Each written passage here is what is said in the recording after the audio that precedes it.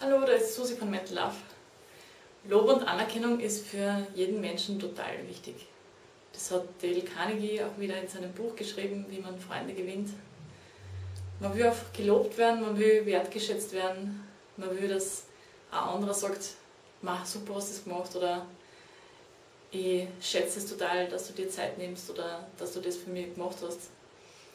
Und mir ist dieser Gedanke gekommen, waren wir gestern beim Autofahren ich muss zugeben, ich bin ein totales Landei.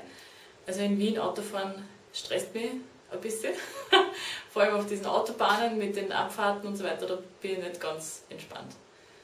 Und es war total viel Verkehr und ich bin aber trotzdem gefahren und habe ähm, es ziemlich gut hingekriegt. Habe mich da auch hineingereiht und Spuren gewechselt und was man da halt machen muss.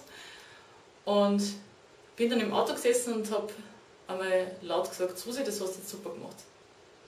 Also du kannst dir ja selber loben natürlich, das ist ganz wichtig, weil der innere Kritiker ist manchmal sehr laut. Und auch wenn du das nur gedanklich machst und einmal sagst, boah, super hast du jetzt gemacht und bin stolz auf dich, das ist ganz wichtig. Wenn du Fragen an mich hast, was mentales Training, was Flirttraining betrifft, was, wie man den Partner kennenlernt, was auch immer du für Fragen hast, schreib mir die auf susi.mentallove.at oder schreib einfach einen Kommentar.